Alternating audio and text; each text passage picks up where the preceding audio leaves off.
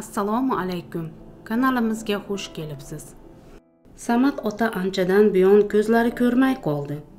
O'g'li ko'rsatmagan doktori qolmadi. Foydasi bo'lmadi. Kelinning esa doim jahli chiqardi. Xuddi bolalarini rizqini qiyayotgandek edi qaynota. Shu ko'r chol o'lmadi men kutilmadim derdi doim. Bir kun samat otaning ko'ksomsa yegisi kelib qoldi. Kelin menga ko'ksomsa qilib bering. Rosa yegim kelyapti. Dedi keliniga ko'k somsa yeguncha zahar yeb o'lgin dedi ichida. Qaynotasiga esa xo'p bo'ladi dadajon deb ishga tushdi.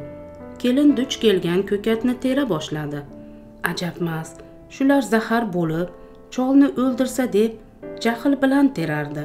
Samat ota uchun alohida o'zlari uchun esa alohida ko'kat.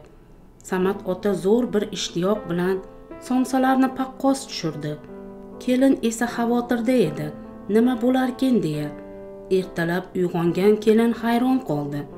Qaynota o'zi yolg'iz hovli aylanar quvonch cheksiz edi.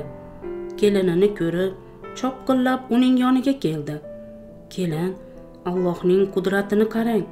Ertalab tursam ko'zlarim ko'ryapti. Menimcha kechagi mehr bilan tayyorlagan ko'k somsangiz shifo bo'lishiga sabab bo'ldi. Axir bizni har bir ko'kat ming bir dardga davo deyishadi-ku. Rahmat sizga qizim. Kelin og'zi ochilib samat otaning ortidan qarab qoldi.